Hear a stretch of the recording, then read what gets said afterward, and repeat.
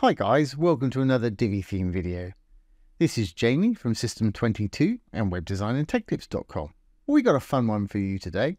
We're going to show you how to create this full width automated and animated blog slider.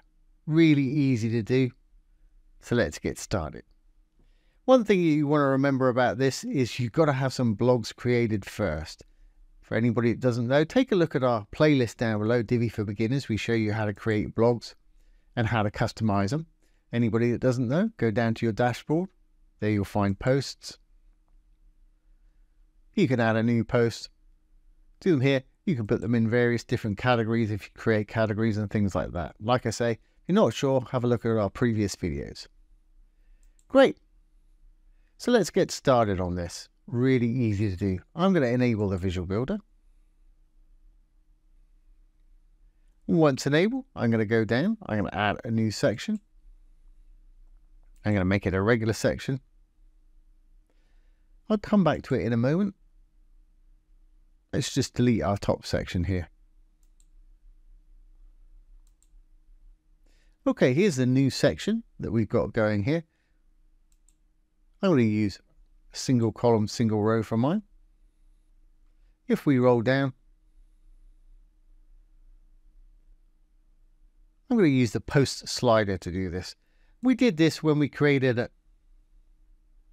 a latest post for our blog page earlier on, but we didn't have an automated slider like this one.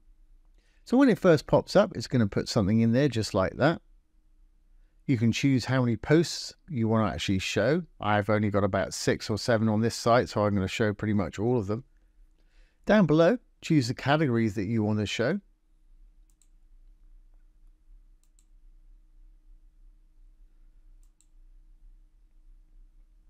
And again, for anybody that doesn't know what these are, have a look back at our previous videos. You can find out how to do that there.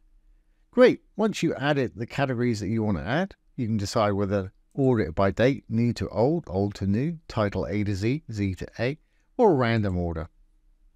I'm usually quite happy with mine being date new to old. Below that, we've got the read more button here. You can change that to say anything you want. I'm usually quite happy with read more, but like I say, change it to what works for you.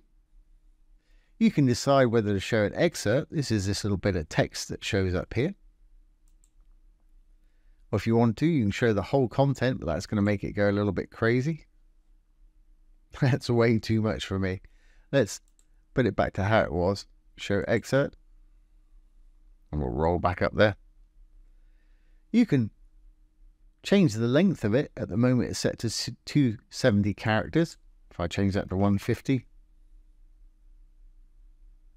it's a little bit shorter there. If you don't like what you've done, you can always go back, delete it. It'll go back to the default for you. If you want to, you can offset your post. For instance, if you don't want to show the latest, offset it to one, it'll show the next one. Offset it to three. You'll have three posts that it won't show, and then it'll show the next one. Down below that, we've got our elements. There's arrows either side. There's controls or dot navigation down the bottom there. There's the read more button. There's metadata, which is the name, the date, and the actual categories in. And you can choose whether to show these by turning them on or off right there. At the moment, we're using the featured image of the blog for the background. You can change it. You can have it on the left. And obviously, you can change the background color. Right. Move this out of the way a little bit. Top. Or you can stack it the other way around if you want to by having it on the bottom. I like mine to use the featured image for the background. Anybody doesn't know what a featured image is, if I go to one of these blogs and hit the edit, and before you go using the Divi Builder, it's over here on the right hand side. You've got some various tabs over here. There's your excerpt if you want to use the excerpt. Featured image is right here. that's where we put the featured image, and that's what you're seeing in the background in this particular example. I'm not going to use a link on these because they're linking to the individual blog posts themselves, so I'm happy with that. Don't need a background because again, we're using the featured image for the background. Great, well there's not much I want to do more there design wise. But like I say, I'd like to have this full, full width of the screen and make it fill up from the top to the section below. And that couldn't be easier to do. I'm going to go into the row itself, the green tab. And you could use a full width section to do this if you wanted to, but you're limited with what you can put in those. I always like to show how to make a regular row into full width. So go into your row, go to design, sizing. Here's width right here, drag that up to 100%. Copy the 100%, Control C, paste it in the max width below, Control V, or you can just type that 100% in there, however you like to do it. We've now got a full width blog slider right there, just what I wanted. But we've got these gaps, top and bottom. If we close up sizing here, that is spacing, padding top and bottom on both the row and the section, easy to get rid of. Let's go into the padding top. I'm going to put a zero there. I'm going to hit the chain, get the other side. We've taken the padding away from the row now. We need to do exactly the same for the section, and we'll have this thing butted up against the top and the bottom there. So blue tab for the section, green tab for the row, dark tab for a module. Going to go into the section now, do exactly the same thing. Spacing, put a zero in there, hit the chain. Fantastic. This is touching the bottom of our nav bar up there and the bottom of our little blog post section down below there. Great, but we want to animate this thing. Want it to roll around every few seconds and show the next one and the next one and the next one. And again, that couldn't be easier. If we roll over, hit the little dark tab, the cog, go back into our slider modules here. If we go over to our design, I'm going to skip overlay, navigation image. If you want to, you can put in an overlay. You can change the color of the navigation arrows and dots down here. I'm happy with the way they are. You can make your image have borders and things like that. I really don't need any of this today. I'm not going to change the text out. You can have any text font you want. As with most things Divi, if you go to the title text or body text, you can choose any font you want, and there's a crazy amount. There really are. Just roll over one to audition it. But like I say, today I'm leaving that all just as it is. The only thing I'm going to do this to, to this today is go all the way down to the bottom. There we're going to find animation. Now this animation style here will not animate the slider to go between blog posts. It'll actually animate it when it loads the page. For instance, if I click on fade, you'll see that fade in. If I hit slide, slide in, etc. They got some crazy ones there. I'm not too interested in having those today. So I'm going to flip mine back to none, but they're great for certain things.